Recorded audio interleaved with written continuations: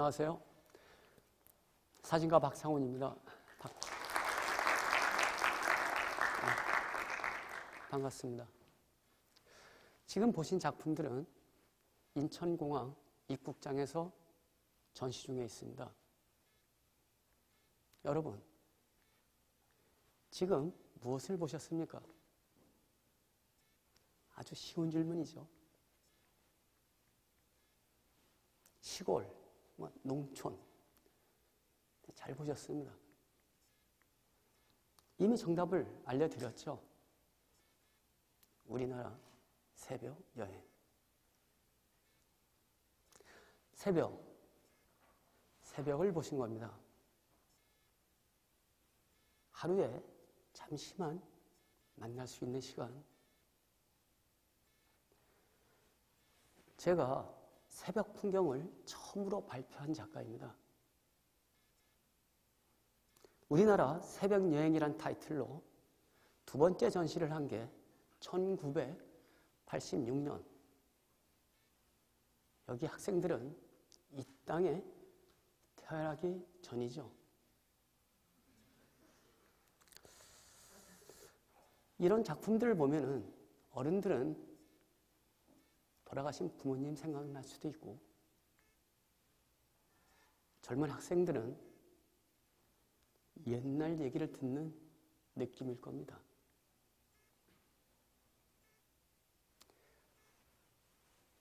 제가 사진을 찍는 것은 시간을 채집하는 겁니다. 그래서 시간을 사냥하는 사냥꾼인 셈이죠. 그럼 오래전에 제가 사냥했던 사냥감을 다시 보시겠습니다. 1985년 10월 초 평창의 어느 시골길입니다. 지금 평창하면 곧 열릴 동계올림픽을 생각하시겠지만 이제 저런 풍경은 다시는 볼 수 없습니다. 저 길은 아스팔트로 새로 깔리고 5일장을 나서기 위해 새벽길을 타박 타박 걸어가는 어머니들의 모습도 보기 어렵습니다. 그럼 저 풍경들은, 저 아름다운 풍경들은 다 어디로 사라졌을까요?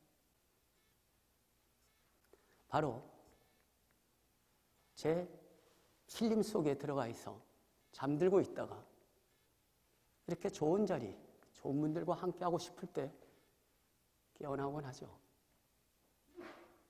그래서 지금 여러분들은 제가 오래전에 채집했던 시간들을 보시고 함께 하는 겁니다. 다음.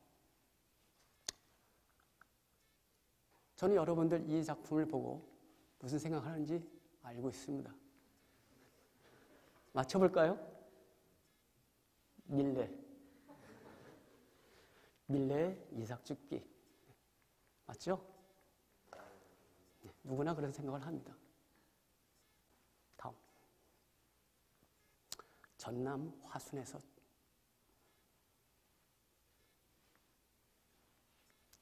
울산에서 아주 가까운 후포 앞바다입니다.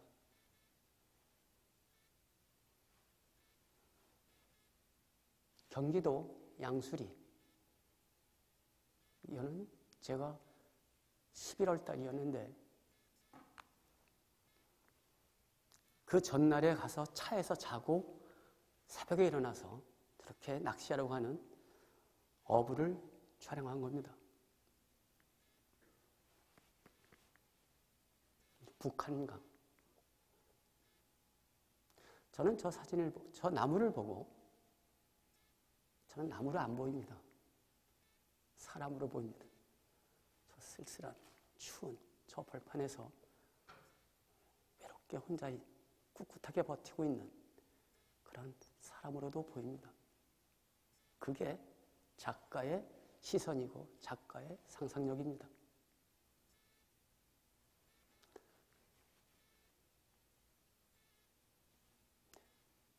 끝도 없을 것 같은 저 안개 속에 파묻힌 길. 아마 여러분들이 가야 할 길일지도 모릅니다.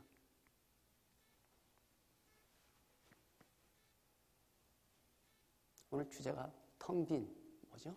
빈칸이라고 얘기했는데, 사실 오늘 제 주제는 그와 조금 떨어져 있는 시간의 개념을 얘기하고 있습니다. 그러나 저의 작품의 어떤 본질들은 저렇게 비움에 대한 게 거의 대부분을 차지합니다. 지금 보시다시피 텅 비어 있는 여백을 얘기하고 있죠.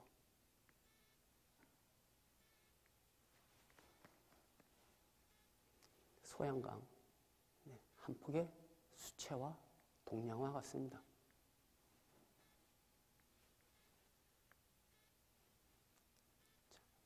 철길에 저끝 어디일까요?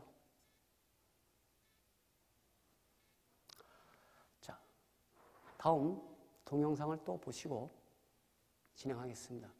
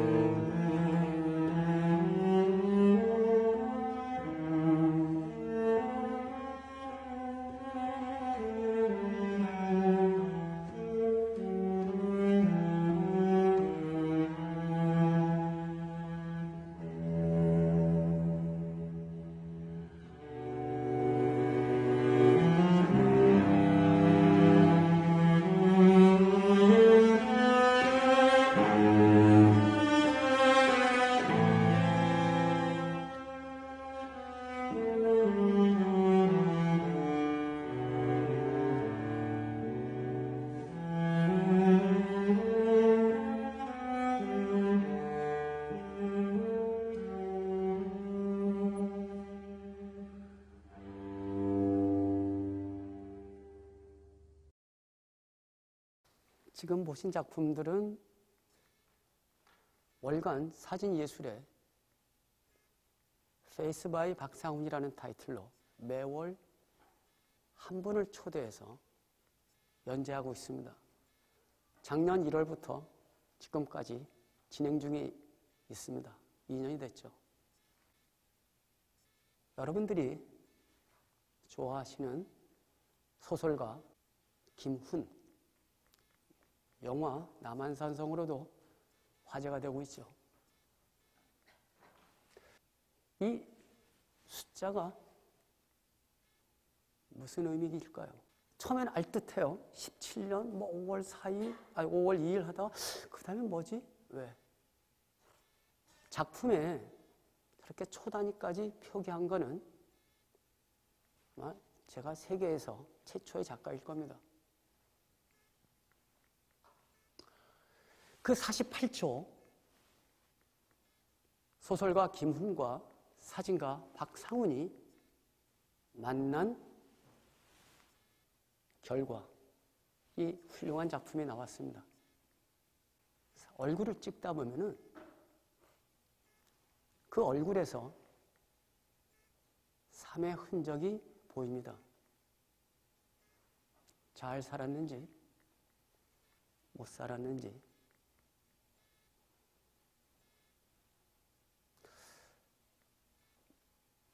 여러분의 얼굴에도 하루하루 시간이 쌓이고 있습니다. 아름다운 모습이든 추한 모습이든 그 어떤 흔적도 각자의 몫이죠. 네. 진정한 국민 배우 안성기 2003년에 작업한 겁니다. 12년이 지난 2015년 그 사이 흰머리카락과 주름은 늘었어도 나이가 더욱 멋있게 들었죠. 안성기 올해로 영화배우 데뷔 60주년입니다. 영화랑 한평생을 한 그 세월의 흔적이 얼굴에 고스란히 쌓여 있습니다.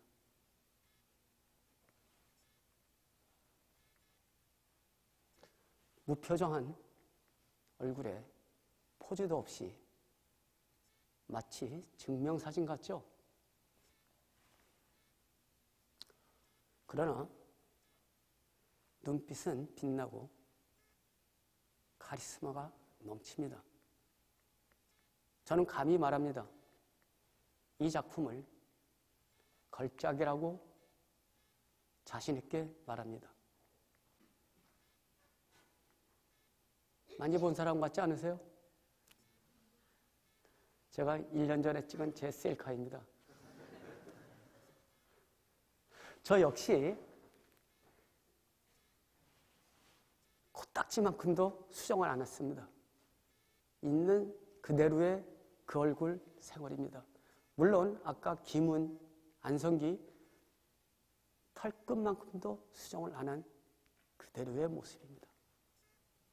저 역시 나이가 들어가니 기미도 보이고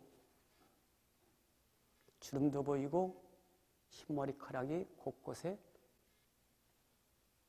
보입니다. 그러나 저는 12년 후를 생각하면 여전히 설레입니다. 왜냐하면 지금보다 더 좋은 작품을 하고 있을 거라 믿기 때문이죠. 그럼 여러분은 12년 후 어떤 모습으로 무엇을 하고 있을까요? 제가 아이디어가 하나 있는데 만들 수는 없습니다. 그러나 여기 학생들은 저보다 머리가 좋은 과학도들이니 아마 가능할 겁니다. 흘러가는 시간, 그 누구도 잡을 수 없습니다. 대통령도 임기가 되면 내려와야 되고, 재벌 회장도 그 많은 재산을 두고 때가 되면 저 세상으로 떠납니다. 그 많은 시간은 다 어디 있을까요?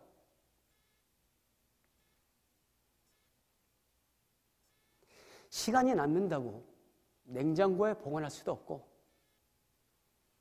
시간이 없다고 은행 가서 대출을 받을 수도 없습니다. 시간이 남을 때 빌려주고, 시간이 모자랄 땐 빌려 쓰는 시스템을 개발한다면 노벨상 정도는 충분히 받을 수 있을 겁니다. 한국 최초의 노벨 수상자를 제가 찍었습니다.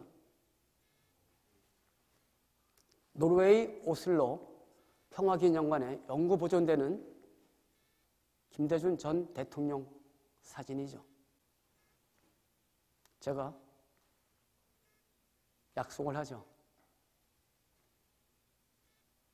여기 유니스트에서 노벨상을 수상하는 분이 나오신다면 제가 선물로 사진을 찍어드리겠습니다. 그런 날이 오기를 진심으로 기원합니다. 감사합니다.